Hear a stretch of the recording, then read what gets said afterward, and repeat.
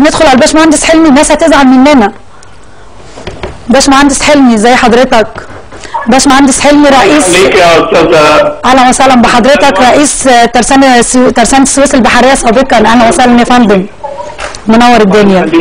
الله يخليك. يا فندم. باشمهندس حلمي بما إن حضرتك اشتغلت في الملاحة والتوكيلات الملاحية وشغل الملاحة واللوجستيات آه وطبعا عانيت مع السويسة بما إن حضرتك سويسي في تشغيل ميناء بورتوفيق ممكن تكلم حضر ممكن تكلمنا عن ميناء بورتوفيق وازاي نقدر نشغله؟ وليه هو لغاية دلوقتي مش عايز يشتغل؟ مش هو اللي مش عايز يشتغل؟ ليه ال- الدولة رافضة إنها تشغله؟ والله يا أستاذ سلوى يعني أنا بشكرك جدا إن حضرتك أثرت هذا الموضوع. ما أنا قلت أتكلم عن أحلام السويسة بقى.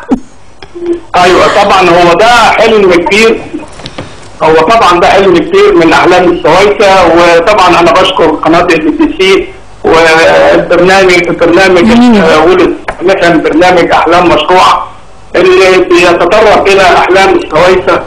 وطبعا من أهم احلام السويسة هو إعادة فتح ميناء بورتوفيق آه، حضرتك لو نشوف أصل المشكلة بتاعة غلق ميناء بورتوفيق ميناء بورتوفيق كان من أكبر وأهم مواني السياحة والسياحة الدينية وانتقال ال- الركاب والعنجيه من الخارج إلى جمهورية مصر العربية.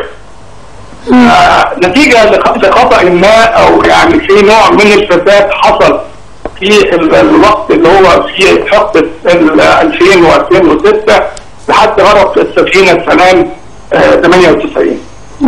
مش معنى إن حصل فيه خطأ أو إن في حصل تجاوز من بعض ملاك الس- السفن آه، في هذا الوقت أدى إلى آه، كارثه بحرية ملاحية على مستوى النقل البحري آه، راح فيها حوالي 1400 آه، روح. مصرية وبعض العرب اللي كانوا بينتقلوا بين آه، ميناء جدة وميناء السويس. فالمشكلة حصلت من هنا وطبعا مش معنى إن في خطأ ما أو في مشكلة حصلت إن أنا أقفل المينا لو هذا الكلام آه، يطبق على أي مشكلة لو مثلا في عربية أتوبيس أو أي وسيله مواصلات عملت حادث يبقى أنا هلغي العربيات والغي ال- النقل البري يا فندم أنا قلتها إن هيئة السلام البحرية آه، عشان اتلسعت من الشوربة بتنفخ في الزبادي. يعني مش عايزة أشتغل المينا علشان خايفه لحسن آه، يحصل نفس اللي حصل في سالم إكسبريس مرة تانية.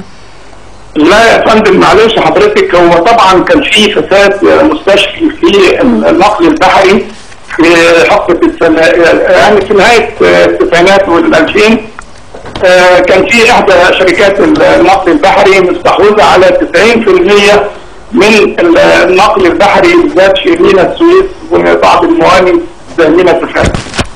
هذه الشركة كان مسنودة بنفوذ من بعض أصحاب النفوذ بتمنحها امتيازات غير عادية لدرجة أنها كانت تضرب عرض الحائط بالقوانين البحرية وبتعليمات السلامة البحرية في ميناء بورتوفيق وفي مدخل قناة السويس. وربنا سبحانه وتعالى إدى إنذار لهذه الشركة ولجمهورية مصر العربية حينما ضربت إحدى السفن بتعليمات ضابط ميناء هيئة قناة السويس.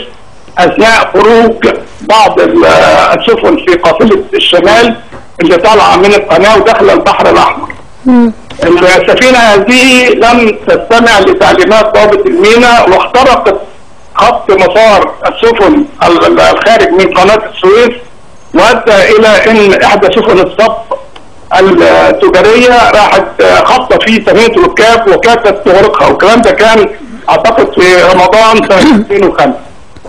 والحمد لله ربنا لطف شعب مصر وإن تم الحمد لله واسطه قطارات هيئة قناة السويس والانشاءات الهيئة وبعض الإنشاءات ال- إنقاذ السفينة. اصحاب الإنشاءات في ميناء السويس. تم إنقاذ كل الركاب تقريبا من على السفينة. إلا إن هذه الحادثة لم آه، تعطي إنذار حقيقي للكارثه اللي إحنا مقبلين عليها. إلى إن حدثت غرق السفينة السلام 98 وغرق على متنها 1400 1400 روح. آه.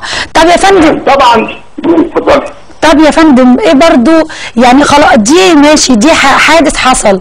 ليه دلوقتي لحد دلوقتي ميناء بورتوفيق بورتوفيق لا يسكنه إلا الغربان؟ ليه؟ ليه مش عايز مش عايزين يشغلوا الميناء؟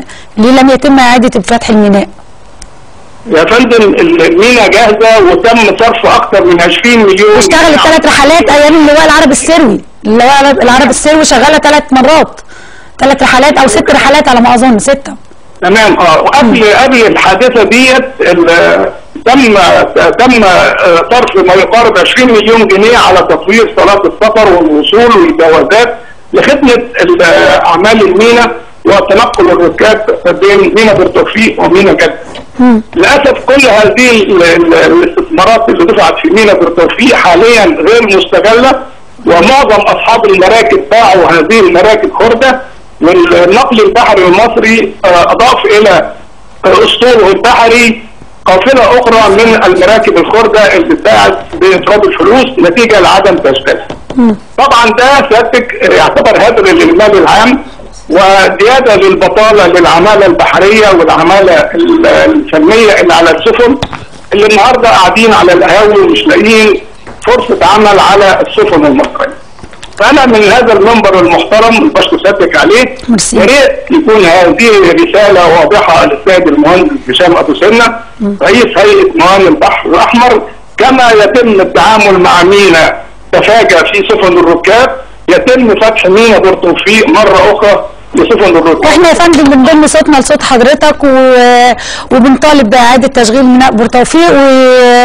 ومتشكرين جدا يا فندم ونتمنى إن شاء الله إن حضرتك تشرفنا في الاستوديو مرة تانية. وهرجع لمرجوعنا وهو